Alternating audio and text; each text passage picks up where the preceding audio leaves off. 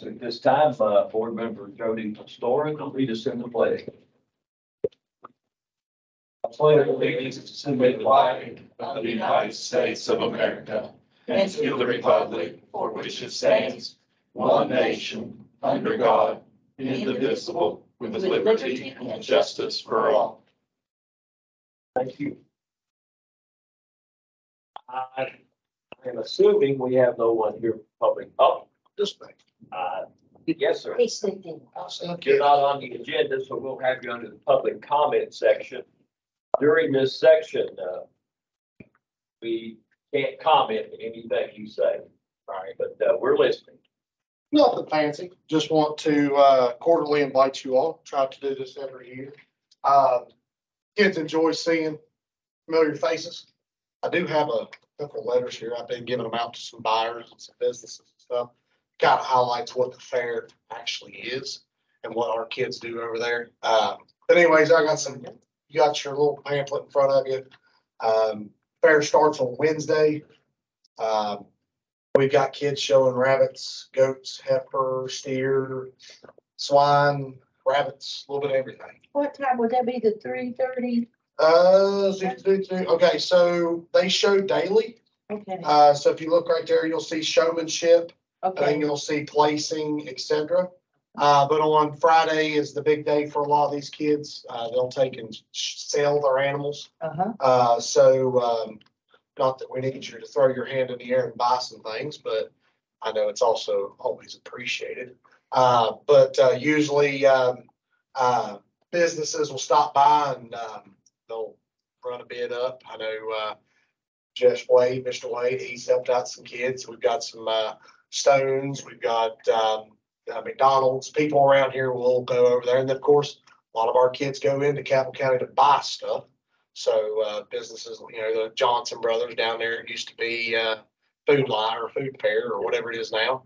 Um, save a lot. They, you know, they buy some stuff. So anywho, um, more or less, we've got kids participating and, uh, it's a financial gain for these kids, but really, uh, they'll take it. I mean, they, they call it, they're called projects in the four H world. Uh, they're more of a entrepreneurship thing for me. Uh, they take and, um, they, they have this animal, they raise it from a baby to more or less processing weight. Um, and then they'll turn right around, the buyer will do whatever they want to with that animal at the time being, but kids get to learn how the, um, uh, more or less just how the world goes around, you know, uh, how to, you gotta have a little bit of money invested before you can reap the reward. And, uh, you know, to make a nice looking animal, you're going to feed it. Uh, that's just one of the essays that a lot of our kids have. Uh, but nevertheless, I'll get, I was running late, so I'll make some copies and give y'all this fire letter. Um, before y'all leave, y'all hang out, but, um, so that way y'all can, if you know some businesses, send them our way. So nothing fancy, I just want to cordially invite y'all to the fair. It's next week. Uh, we'll be over there. I'll, I'll be there all week, but, uh, kids start rolling in, uh, Tuesday night with their animals and then Wednesday we're, I think it starts at three, three to eleven daily, and then on Saturday, we're open all day long. Uh, if, if the animals doesn't tickle your fancy as much, we also have, uh, some wheeled events going on. They got the derby and, uh, they got a rodeo on Friday and, uh, got a few other things. They got a little midget wrestling. That's supposed to be fun. I'm trying to, I'm not midget, but it'd be kind of funny to watch that. So, uh, there's some events for you and your family if you want to bring them around. But, uh, little people, little. Excuse me. So, any, I don't, thank. Any, it- don't want to take any more of your time. Just wanted to get y'all. Thank you. That's, uh, thank you for coming, Yes. talking tonight, but I got a question. Okay, go ahead. What's the status of the chicken house that we approved? Chicken house got approved about la- last month. According, I've, I've not been physically told. I looked on the agenda at that special meeting. And I guess it got approved. Um, Louis Pridemore was over there last week and he was leveling out some ground. Um, and I'm gonna talk to Jerry and, um, run some ideas by him. And, uh, more or less try to line everything up. Honestly, um, I talked to Shane before school ended, uh, Messinger, which is the carpenter. You know, the principal is chief person. Right, right. Well, Steve approved it. She said everything's golden. Um, more or less, I just wanna, I just wanna make sure all my i's are dotted and t's are crossed. I just want to know. But we're getting balls rolling. I do have a question, Sam. Yes, sir. Uh, has nothing to do with anything. Go ahead. Is there an operational brush hog? there? There is. Well, it was until I have to double check, but, uh, the last guy that was over there broke in. I gotta make sure he put that shear bin back in, but Okay. there is a, Can you let me know? yeah, which there's something. All right. All right, 'cause we may need to take it up the road a little bit. Up the dip ball. Okay. Yeah, thank you. Yes, sir. Three is twenty-one. Item three on the agenda, uh, approve the minutes of June thirty and, uh, and July eleventh meeting. Do I have a motion? I'll make that motion. Bird, second. Wilson. All in favor of approving the minutes, say aye. Aye. Any opposed? None. Brings us to the administrative portion, uh, Roman numeral four.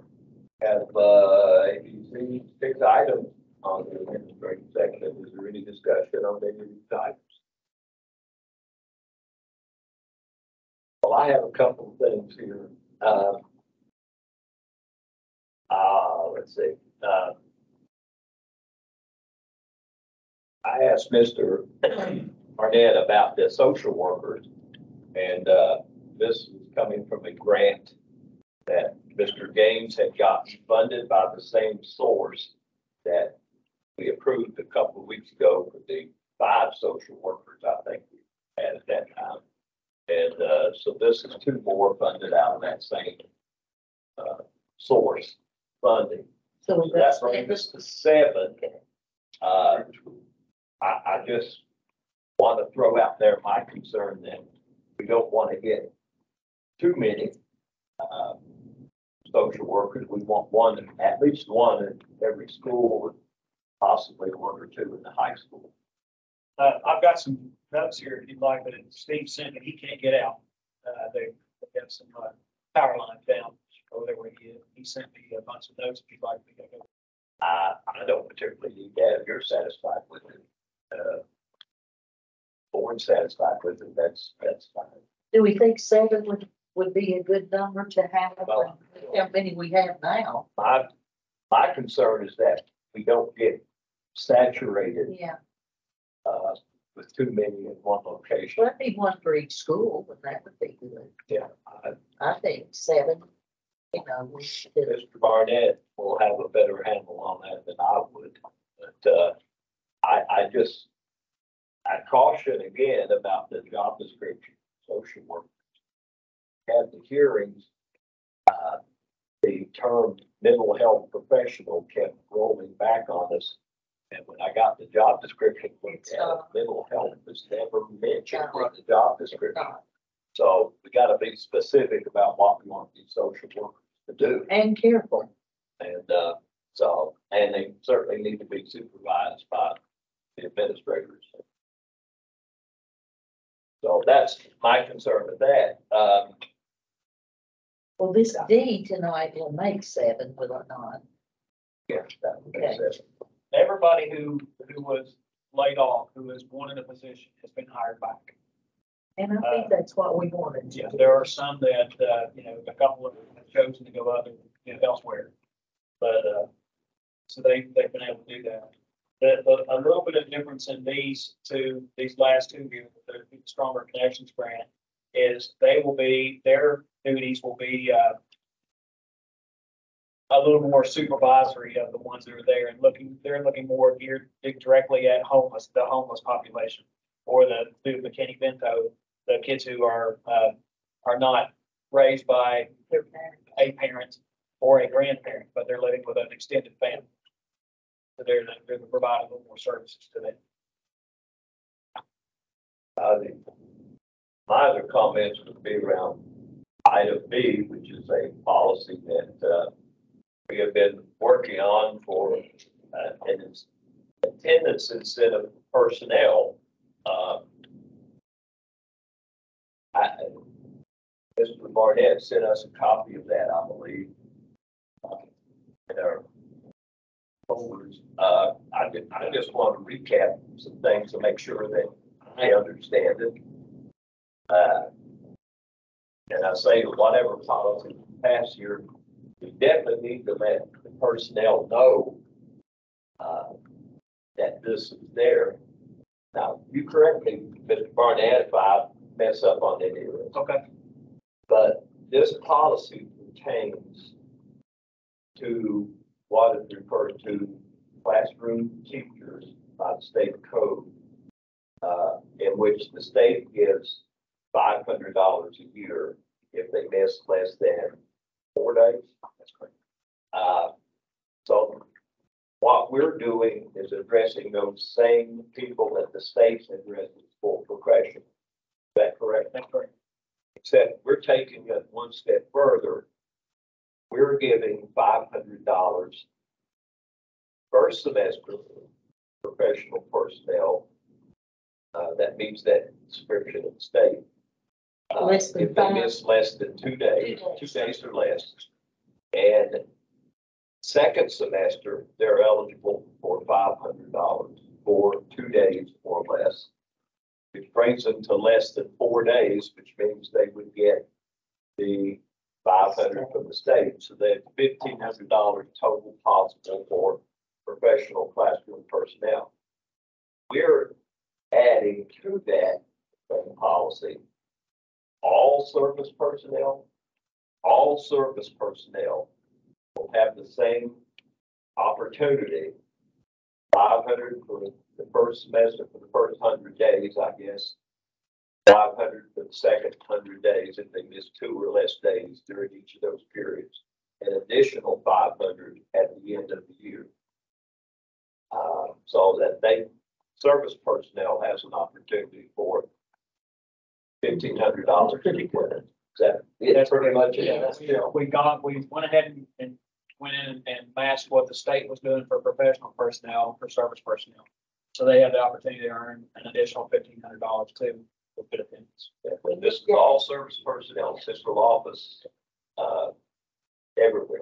Yeah, we need to Okay. really impress on the administrator in each school to make this in first few days, really, really explain to the, to the personnel to make it work. And I, I want to recap the purpose of this, is that the board was concerned about the number of absenteeisms and concerned about the interruptions of classroom instruction that was occurring with absences of employees. Those are our two goals, to reduce the absences of employees as it affects kids and reduce the number, the amount of money that we're paying out, quite frankly, for absences. So, uh, if- that's it, policy in a nutshell, then, uh, you all came along with that as well. I think we need to approve this one. So, any other discussion on these? I might say one other thing, uh, I have some reservations about whether or not this is truly an incentive. I'd like to have a whole lot more. But we just don't have a good enough handle on our figures to do this because the way different things are categorized, we aren't clear about the money. So if this comes out and it's successful, uh, who knows what next year will hold. This is a year by year policy. in this area. Okay. Or service personnel and And professional. that, that's why I presented this tonight as the, as a uh, administrative guideline and not a policy per se. Because it is a pilot program that can, that can go year to year. And if you adopt the policy, then it's a lot more stringent to try to go back and revise. So it's, it's presenting an administrative guideline. Okay, that's fine with me. All right. No other discussion. I'll ask for a motion and second. So Wilson makes the motion. I'll second. Burns seconds. All those in favor of approving administrative items, say aye. Aye. Be opposed? None. Passes unanimously. Item five, financial. Uh, Any discussion? If not, I'll ask for a motion. Presented. I'm sorry, Make a motion that we accept it as presented. Ms. Story? Second. Snyder, all those in favor say aye. Any opposed? None, it's unanimous. Uh, on the, things I'm gonna ask that we go down to personnel schedule. Number A on item six, to approve the, uh, personnel schedule, your blue sheet. As it's presented. Any discussion? Do I have a motion? I'll make that motion. Burns makes the motion. Second, Second. Snyder seconds. All those in favor say aye. Aye. Any opposed? None, it's unanimous. Uh, we'll be going into executive session. Before we do that, uh, under item eight, comments and concerns. I'll just repeat once again that the board self-assessment is due August fifteenth. Uh, Mr. Jim Brown from School Board Association has sent each of us, uh, that form. You just need to get on the computer, on your email and fill that out. That needs to be completed by August fifteenth, an hour as possible. And the other item that we said last week, we were gonna have on the agenda, Duval Midway. And I'm gonna ask Mr. Barnett to kind of fill us up, uh, where we're at on Midway, Okay. Duval. Uh, Austin, myself, um, Greg Martin, and Mr. Cummings met Thursday, uh, this past week in here. Um, right now, we are, we should have, uh, according to Mr. Martin, we should have an updated plan to us by the end of this week. Uh, we, he was able to move one, uh, first of all, let me start by saying that I asked, Austin, I asked about the, uh, current, the existing building, if any part of the structure and the entire structure has been condemned. So we, we can't, And who, who's saying it's condemned. I convenient? guess the, uh, that was the insurance, the insurance. uh. Various, various agencies. You know, when, when I, that, my question was, if it was condemned, why did we allow a tour of that place? To go on this spring? We got that okay through the proper channels too. I can't really answer it, but the Did we know? walkthrough, the walkthrough was. Of course. I mean, if it was totally condensed at that time. Can we still let somebody go I'm, through? I'm sorry. to That's okay, no, but moving forward, um, they were able to move, since moving the building down and stacking the one wing, it was able to, uh, eliminate several, uh, helical, uh, towers that had to go several, several, several feet into, they hit, till they hit bedrock, concrete on top of that. So by eliminating the lion's share of those, that, that will come in at a huge cost saving there. So that, uh, coupled with, uh, we've talked about bidding out some of the packages, like bidding out the demo package and the haul off package for the old site. Because anytime you're, uh, anytime you put all those things into the general contractor package, you, you're adding fifteen percent at least. So we're talking about, uh, taking that package out, we're talking about taking the furnishing package out, bid those out separately. So that'll, that'll be a cost savings there. So once they get this plan us this week, then we, uh, we set up an appointment, go back to the SBA, hopefully first, second week of August, go back to the SBA. Say, and tell them, here's what, all we've done, we've done, we've done cost savings here, we've adjusted here, we've moved the site, the site prep's gonna be less, we're taking these two packages out. What can we do? At that point, if we get the thumbs up, then we go back to engineering and electrical. They put in all the final specs. We go back a last time to, uh, go ahead and, and try to move forward with the project.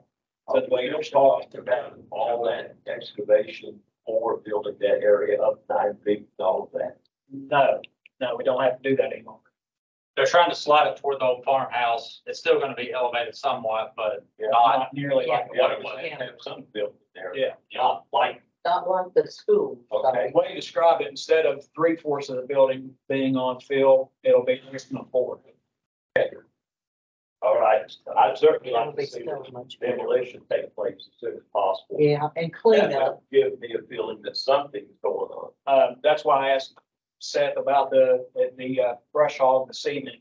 And, uh, we got a quote, um, Jerry Cremines got a quote today. We're going to rent a mini excavator to get it up there to get a lot of that cleaned up before we, can you know, but, so that at least it won't be an eyesore until we can get that. It is torn down. definitely an eyesore. Okay, all right, thank you, Mr. Barnett. Does Anybody have any other discussion? Yeah, I do. I'd just like to you and Mr. Barnett on uh, being in the community. And that's much appreciated. Uh, the other night, uh, we were invited, friends invited us to Hearts and, uh, we went down to, uh, cut weeds and uh, wash buildings and I hopped out of my truck and there was Mr. Barnett's weed eater. So I was really proud to say we have somebody in the, a superintendent knows how to run a weed eater and the weed eater still up. So. And then that's it. All the duties. You added But, that uh, on. that's other duties as a sign. But, uh, today I saw where he was in the community, giving out meals and stuff. That's just much appreciated. It is Not just clean up the board out there, It is just the for community. the whole county, yes. Involve someone who, who said, I. Yes, it is. Yeah, lead from the front. Absolutely. think there's a general feeling going on with many people in this county that something's moving, something's happening.